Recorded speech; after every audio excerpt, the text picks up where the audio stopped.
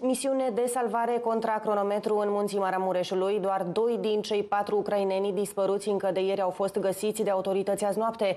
Din nefericire, unul dintre ei a fost găsit fără viață, iar al doilea în stare gravă. De asemenea, în această dimineață este așteptată intervenția unui elicopter care să survoleze zona. Mai multe detalii discutăm cu șeful Salvamont România, domnul Sabin Cornoi, un direct alături de noi. Bună dimineața, mulțumesc tare mult pentru prezență. Bună dimineața și mulțumesc și eu pentru invitație. Ce detalii aveți acum? Care sunt cele mai proaspete informații? Am înțeles așadar că au fost găsiți eh, doi din cei patru ucraineni dispăruți, unul din păcate da, cedat, celălalt rănit. Care sunt este o situație date? deosebită. Ne așteptam la astfel de situații. Am avut și anumite informații la un moment dat în care oamenii ne întrebau care ar fi culoarele prin care s-ar putea să se treacă către România. Din păcate, și noi ca salvamontiști cunoaștem zona noastră, nu cunoaștem uh, uh, relieful din partea cealaltă a graniței. Oamenii s-au aventurat, probabil călăuzele pe care le-au avut uh, le-au oferit uh, informații uh, insuficiente sau eronate în dorința de, de a le satisface această, acest vis de a trece granița și, bineînțeles, de a le lua banii.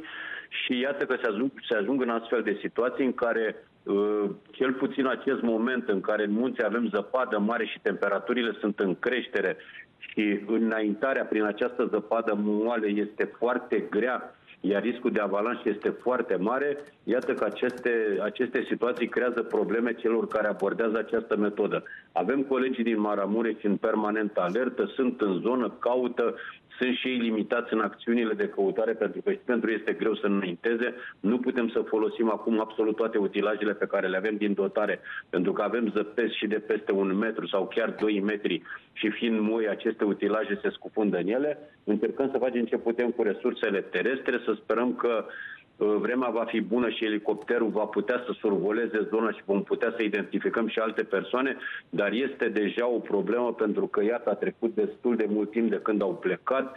Deja o noapte în munte este foarte greu pentru, pentru oameni și noi sperăm ca până la urmă să-i găsim cu toți într-o stare cât mai bună.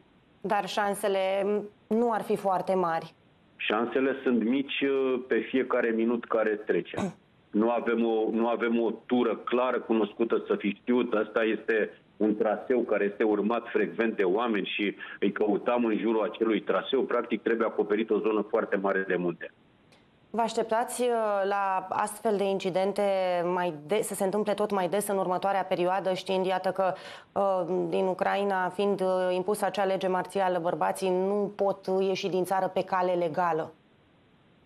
Cu siguranță sunt oameni care vor încerca toate metodele să părăsească țara. Probabil și aceasta va fi una dintre ele, poate una, este una dintre cele mai accesibile pentru ei și cu siguranță vom mai avea astfel de probleme. Poate peste o săptămână, două, se va mai topi zăpada, vor apărea uh, zone cu, cu pământ și atunci traversarea munților nu va fi atât de periculoasă, dar, repetăm, nu încurajăm astfel de situații, dar nici nu putem să știm ce este în sufletul lor și ce știu acei oameni acolo și de ce apelează la astfel de, de gesturi.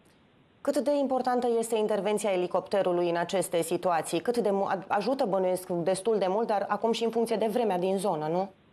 Dacă elicopterul va avea vizibilitate și va putea zbura, cu siguranță uh, va putea să cerceteze pe calea aeriană mult mai mult decât uh, reușim noi pe cale terestră. Va avea o vizibilitate mult mai bună, s-ar putea oamenii să vadă că sunt căutați, să, să știe că sunt autoritățile din România, de autorități de care ei nu se mai tem și atunci să încerce să iese și să într-un loc vizibil sau poate niște oameni care se află într-o stare disperată, cu siguranță nu se vor mai ascunde și atunci vor ieși undeva să fie vizibili.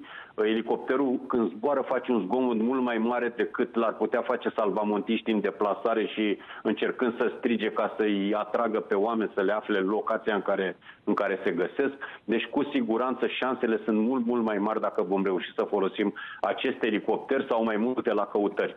Mulțumesc tare mult pentru intervenția în jurnal. Sabin Cornoiu, șeful Salvamont România,